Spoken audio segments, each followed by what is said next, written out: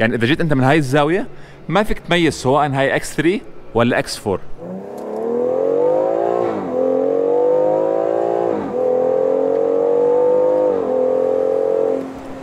حياكم حي جديد مستر مواتر حياكم من جنوب أفريقيا. هذا الجزء الثاني من الحلقة وبهاي الحلقة بدي أركز أكثر على ال BMW ال X 3 M اللي هي ال X 3 الجديدة محرك ال M هلا دغري واضح فيها ال kidney grille تبع BMW اللي هو الضخم هون ولكن بيفرق عن ال X 5 وال X 7 إنه في فراغ هون مش موصلينهم مع بعض وحاطين عليها للسيارة فتحات تهوئة بالكامل في الأمام كل الفتحات عملية ما في فتحات بس منظر. هلا شيء غريب لاحظته عن BMW إنه كل ما تصغر السيارة كل ما بتكبر الإنارة الأمامية. يعني سياراتهم الأكبر ال X 5 الاناره أصغر شوي ال X 7 الاناره أصغر منهم كلهم. فعند BMW لما تكبر السيارة تصغر الإنارة والعكس صحيح. مع إنه ال X 3 تعتبر ال baby SUV من BMW المساحات فيها كتير كبرانة خاصة بالجيل الجديد هذا اللي شايفينه هلأ قدامي. طول السيارة كمان لمعلوماتكم طولها هون أطول ب 2 إنش من ال X 5 2002 فتخيلوا قديش ال X 3 كبر هلأ مقارنة بال X 5 القديم. جانب السيارة كمان X 3 تقليدي. ولكن اللي بتلاحظ دغري انها M بتلاحظها من الرنجات اللي عليها بتلاحظها من البريكات باللون الأزرق اللي عليها وحتى المرايات كمان هاي ال signature عند BMW واحدة من أجمل اللمسات حركة المراية اللي هون. والفتحات اللي على جنب السيارة كمان هاي الفتحات منظر ولكن المنظر مش سيء فيهم. ومن الخلف دغري ظاهر فيها الجناح الكبير اللي هون وال signature العلامة المميزة عند بي إم دبليو الآم هو ال exhaust ات اللي تحت. شوفوا ال double exhaust على الجهتين هون وهناك. طبعا نحن بأفريقيا فمقود القيادة على الجهة الغلط.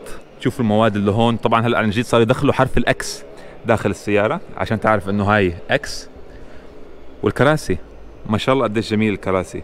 داخل فيها two tone طب بتشوفوا الجلد لونين.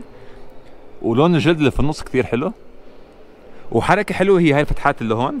هلأ بتلاحظوا على ال M 4 الجيل الحالي اللي هو الجيل السابق يعني بس لسه موجود حاليا. هاي مفتوحة بالكامل. وبتشوف فيها بالخلف. هون حاطين نفس الحركة ولكن مسكرينها. لسه منظرها جميل. والتنوع بالمواد تطريز جلد Alcantara وهذا الجلد باللون الثاني حلو جدا التنوع فيها بالمواد. وهي شعارات ال M اللي بتنور في الليل كمان جميلة. داخلية typical شبيهة بال X 3 المختلف عن ال X 3 هو الجير اللي هون. هذا جير ال M اللي عليها. بتشوفوا كيف الجير اختلف هلأ. وبتحسوا صار كأنه طابقين يعني الجير. والجير فيها حلو. طبعا الشحن اللاسلكي هون شعار ال X 3 M Competition بتشوف شكل واضح هون. عشان اللي قاعدين معك يعرفوا هم بشو جالسين. هون اختصارات ال M بتشوف هون ال M 1 وال M 2 هلا هاي اختصارات لوضعيات قيادة. لمسة جدا جميلة لاحظتها هون وعجبتني. هي دعسه هاي الرجلين شايفين؟ على جنبها في هون ألوان ال M وكتير صغيرة ولكن كتير حلوة. هاي المساحة الخلفية. ظهر الكراسي بتشوفوهم كيف زي ال racing seats زي ال bucket seats مش بطال المكان. شوي الرؤية محجوبة لما تجلس إنه هاي مسكرة بالكامل. كمان عندي مساحة للراس كافية من هون. ال X 4 دغري حتلاحظوا إنه النافذة الخلفية فيها حتكون نازلة كثير وما حتكون الرؤية مريحة نفس الرؤية هون. ولاحظت كمان السقف فيها شوفوا لوين واصل.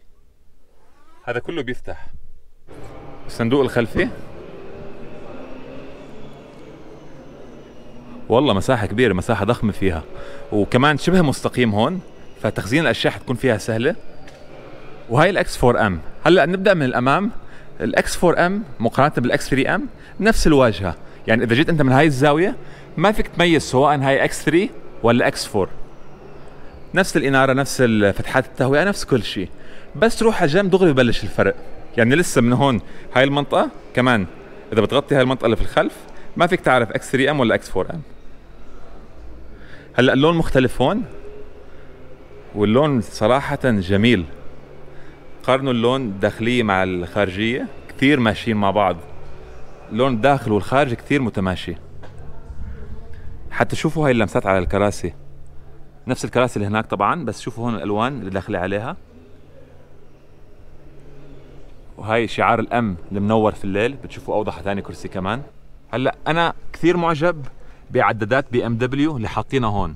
هاي نفسها العدادات اللي بتشوفوها بال M 2 BMW M 2 جاي شكلها شوي تقليدي أكثر من العدادات الجديدة. هون مباشرة حتلاحظ إنه مكتوب عليها ال X 4 M Competition. كمان هاي لمسة كثير جميلة في الداخل. وفرق عن ال X 3 اللي كنا فيها هلأ طبعا هاي مواصفات إنه هون carbon fiber بالكامل سواء في النص سواء في الأبواب. وال carbon fiber اللي من هاي الجهة كمان اللذيذ اللي فيها. وهون شعارات ال X 4 M وهلأ الفرق الكبير بين هاي وال X 3 اللي هو السقف شوفوا بالخلف. هون الفرق كله موجود فيها السقف نازل طبعا بما إنه هاي جاي كوبيه وخط كامل من السقف للنافذة الخلفية. ومؤخرة السيارة بتشوفوها كيف هون.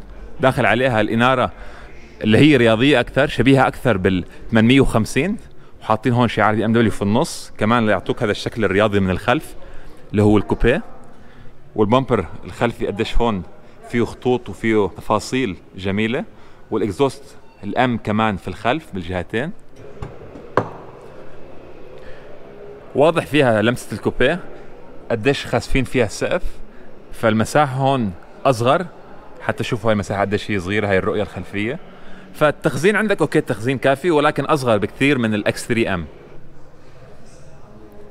الفرق الوحيد طبعا هو السقف. خلينا نسكر الباب. أول شيء بتلاحظ قديش الشباك هون أصغر من ال X 3 نازل أكثر بس لسه رؤية كافية وهي مساحة السقف. هلأ بالتصريح الصحفي تاعون BMW قالوا إنه نزلوا السقف بس ليعطوك مساحة تكون على الضبط كافية ما في مساحات إضافية. فزي ما قالوا مساحة الرأس يعني هالقد في بس مسافة بيني وبين السقف بس المساحة كافية. والنافذة الخلفية زي ما حكيت لكم ال X 3 النافذة فيها جاي مستقيمة أكثر هون النافذة نايمة أكثر فالرؤية من الخلف أصعب وكمان الفرق الثاني هو السقف. آه، السقف ال X 4 ما بيفتح نفس المسافة نفس ال X 3 هون السقف شوي أقصر. فهي فروقات من الداخل. هلا بنجرب قيادتها لل X 4 M على الحلبه طبعا ال X 3 وال X 4 نفس المحرك فنفس الشيء.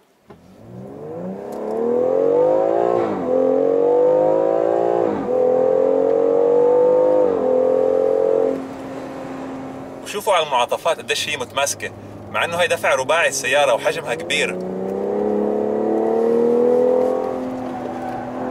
تعطيك ثقة كثير كبيره على اللفات.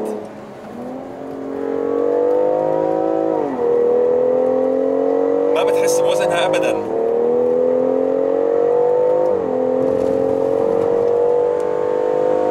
تسارع من صفر ل 100 بأربع ثواني وثانية تقريبا. كمان تسارع بالنسبة ل SUV من هذا الحجم. كثير حلو. وكل هالوزن تخيلوا نفس المحرك حيكون على ال M 4 وال M 3 مستقبلا.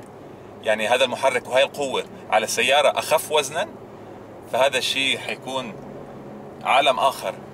طبعا المحرك هذا كثير مميز حقول لكم ليش هلأ. هذا المحرك هو الست سلندر عند BMW اللي حينزل على ال M 3 وال M 4 الجيل القادم. فهذا المحرك جدا مهم. المحرك اللي عليها twin turbo 3 لتر 6 سلندر. كل 3 سلندر فيه مسؤول عنه توربو واحد. بولد المحرك 503 حصان بال Competition طبعا. وبال X 3 العادية بولد 473 حصان. والمحرك مربوط بناقل سرعات ZF 8 سرعات. صراحة السيارتين إخوان كثير متشابهين. نفس المحرك نفس كل شيء. والمساحات بالداخل تقريبا مشابهة. يعني صح السقف شوي نازل ولكن المساحة الخلفية بال X 4 M كثير كافية. أنا جلست فيها ومساحة الرأس كافية ومساحة الرجلين كافية. هلأ لو بدي أختار سيارة بفضل أنا ال X 4 M كوبيه بوجهة نظري شكلها شوي أجمل. بعض الناس ما بتحب شكل الكوبيه على ال SUV وتفضل ال X 3 M ولكن بالنسبة لي ال X 4 M أجمل خاصه مع الإنارة الخلفية ومع الشكل الخلفي ومع الدفاع الخلفي كثير رياضي أكثر أنتم شو بتفضلوا ال X 4 M ولا ال X 3 M خبرونا تحت بال comments ونشوفكم بالحلقة الجاي ومع السلامة.